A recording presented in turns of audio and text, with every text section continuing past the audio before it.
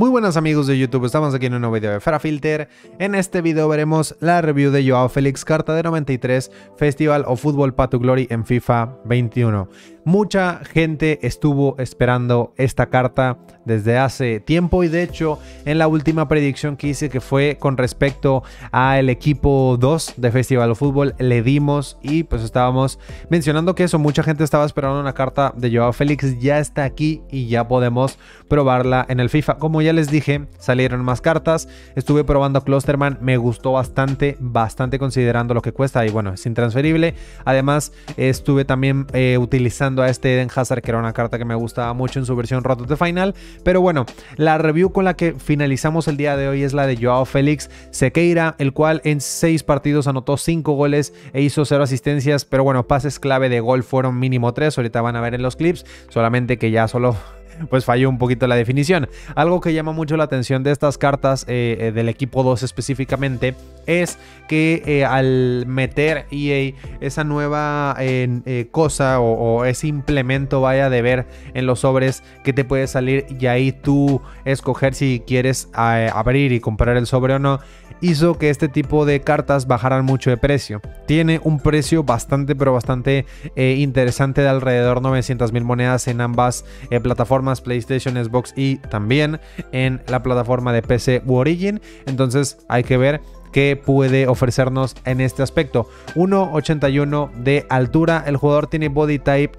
lean, lo cual está bastante, está bastante bien y es importante también mencionarlo, con 70 kilos de peso. A pesar de eso, yo creo que es por la altura. El jugador en el campo no se ve súper delgado, la verdad se ve con, con una buena presencia física tomando en cuenta que tiene body type lean, pero como ya les dije, creo que esto se debe y eh, esta se conecta con la altura. Medio, medio en índices de trabajo me hubiera gustado un alto medio, pero bueno, no se le nota casi nada. Es poco o son detalles muy, muy eh, pequeños los cuales se notan en el campo, además de esos 5 de skills y 4 de pierna mala. En cuanto a rasgos importantes, playmaker y tiro con pie exterior, playmaker para utilizarse de MCO y tiro con pie exterior a la hora pues de tirar y ya está. Vamos a empezar hablando del ritmo y es que tiene 89 de aceleración y 93 de velocidad de sprint. Lo estuve probando con un estilo de química de cazador que yo creo que, es el mejor para esta carta. No siento que a estas, o sea, a estas alturas en este momento con media 93, yo a Félix necesite un marksman o un motor. Yo sé que a lo mejor el regate eh, a estas alturas no es el mejor y se podría mejorar, por ejemplo, con un mismo eh, motor, pero yo siento que necesita más la mejora en definición y además de eso en aceleración, porque tiene 89 aceleración y 93 de sprint. Creo en cuanto a velocidad no está mal, que se le nota más rápido tanto por el estilo de química como por el body type eh, lean, pero sí se nota esa diferencia y esa transición de aceleración y sprint y es algo que te puede costar yo creo eh, más si es que lo utilizas como un eh, delantero centro que y digamos que ahí se exige un poquito más la velocidad. Ya de MCO tal vez no tanto y por lo mismo en esa posición sí puedes probar pues un poquito más experimentos como marksman o inclusive ponerle un motor pero de delantero centro creo que es obligatorio ponerle cazador a este eh, mismo jugador. Pero como ya les dije, MCO ya sería otra cosa. Inclusive por banda. Banda también les diría que motor sí o sí. Pero en velocidad, como ya les dije, es claro que cumple. Y es eh, el Joao Félix que utilizamos hace tiempo con esa misma diferencia de eh, aceleración y sprint. Porque tiene esa misma diferencia de 4 puntos. Como ya les dije, de una estadística a otra in-game hablando del ritmo. Tiro tiene 93. Y aquí me pasó algo que a lo mejor, y algunos de ustedes pueden llegar a dudar sobre eso, eh, sobre esto, vaya, este, pero por lo menos sentí yo así a la carta en definición. No es nada malo, para nada. De hecho, están viendo bastantes goles eh, buenos con este jugador en ocasiones clave, que lo hace bastante bien pero no es un killer nato. Y eso es algo que van a notar si lo comparan, por ejemplo, con una carta como Cristiano Ronaldo de 93 para arriba, o sea, IF para arriba, o, cartas que tienen 95 de definición para arriba, que son o suelen ser killers. Vaya, este jugador por lo menos es lo que sentí yo, eh, no es 100% constante en definición y por eso no solo puse clips donde mete goles, sino también donde falla, ya que no fue una ocasión, no fue un partido, por eso de hecho me alargué un poquito más con la review y dije, bueno, no lo voy a probar nada más los típicos 3 o 4 partidos, quiero probarlo un pelín más solamente y siguió pasando lo mismo, siguió ocurriendo ese, eh, eso que estoy diciendo de la definición, no estoy diciendo que sean malo para nada, pero eso sí, no es un killer estilo Antoine Griezmann o Sergio Agüero fin de una era por darles algunos ejemplos. ¿Sigue siendo un muy buen tiro? Sí, pero es que hay que tomar en cuenta que el Player of the Month de este jugador creo que salió por enero, febrero, marzo a lo mucho, pero si no me equivoco fue en enero y mm, tenía 4 puntos menos de tiro, que en ese momento tener 90 de definición, 92 de posición de ataque, era una maldita maravilla. Eh, y era algo que no se veía tanto con jugadores. Pero a diferencia de, eso, que bueno, estoy viendo y sí, exactamente salió entre diciembre y, enero. La carta eh, Player of the Month lo estaba checando, pues porque es un dato que se tiene que tomar mucho en cuenta. Seis meses y solamente subirle 4 en tiro es por algo. De hecho, la mejora en cuanto a media es de 6 puntos. Si se le hubiera subido 6 puntos en cuanto a tiro, son dos cosas. Primero, muy chetado y si se pone a estas alturas en cuanto a definición y hubiera sido un killer nato si se hubiera notado esa diferencia, esos dos puntos in-game.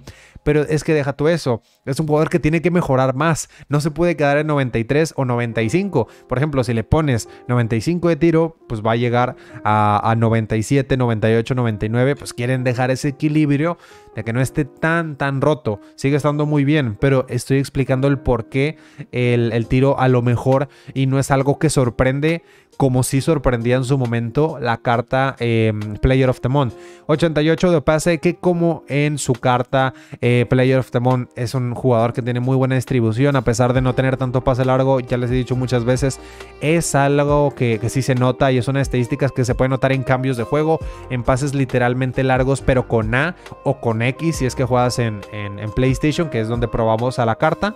Y eh, fuera de ahí, no es tan importante el pase largo. Lo que sí se necesita más en el meta del juego y digamos para aprovechar más a, una carta en cuanto pase es visión, pase corto y efecto. Y este jugador lo tiene bastante top, 93, 92 y 95. Pero luego, como les estoy diciendo, si es que lo quieres utilizar de, banda, que me parece no una mala posición para él, pero la verdad no la mejor, este sí les diría que un, estilo química de motor porque ahí necesitas un poquito más de distribución. Regate tiene 94 y el jugador en cuanto a movilidad sigue siendo muy muy bueno. Ahí sí podría decir que está a la altura de, del juego a estas alturas. Vaya que está al nivel de muchas cartas de precio similar, de cartas SBCs de hace 2, 3, 4 semanas. Es muy bueno este Joao Félix en este aspecto y en general es una carta que en regate no falla en nada. Y no me refiero solamente en cuanto a movilidad y hacer regates con 5 skills, sino también la compostura las reacciones, que es algo muy importante.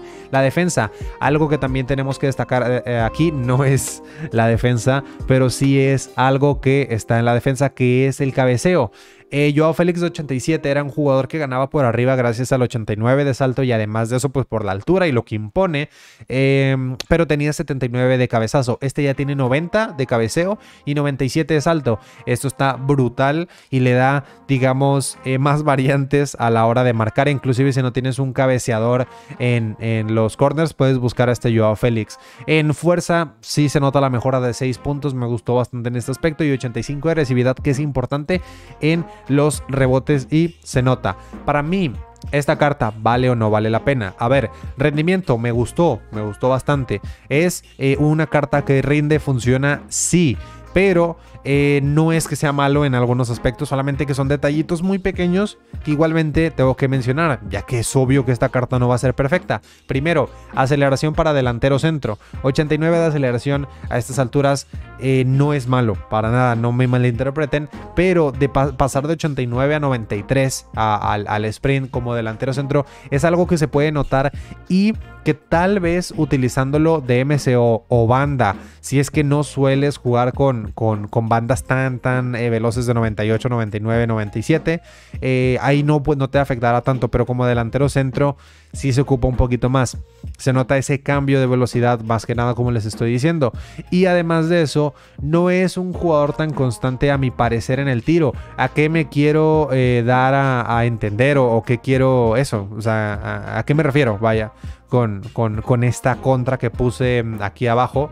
Que no es un killer. No es un jugador tipo Cristiano Ronaldo este, no, no es un jugador que, como ya les dije, sea un delantero nato killer, sino más bien, como sugiere la carta, un media punta que puede utilizarse como delantero acompañante, pero al lado de un cristiano, al lado de un delantero killer, como lo estoy diciendo, el mismo Kun Agüero, si es que lo utilizas por dar ejemplos de cartas, este, o se puede usar de MSO más creativo, inclusive banda, si es que, no sé, usas 4-3-1-2 y ahí lo vas a usar de MSO. Y luego cambias a 4-4-2 o 4-2-3-1 y ahí lo tienes que usar eh, por banda por los otros jugadores que tienes, ahí te la compro. A mí me ha pasado, de hecho yo suelo usar cartas en una, en una formación, por ejemplo 4-3-1-2 de MSO y luego lo cambio a banda, estilo Messi, el mismo David Neres, eh, y ahí sí te lo compraría. Pero para usarlo los 90 minutos por banda, les diría ahí que no, ahí no lo hagan, que mejor vayan por otra opción.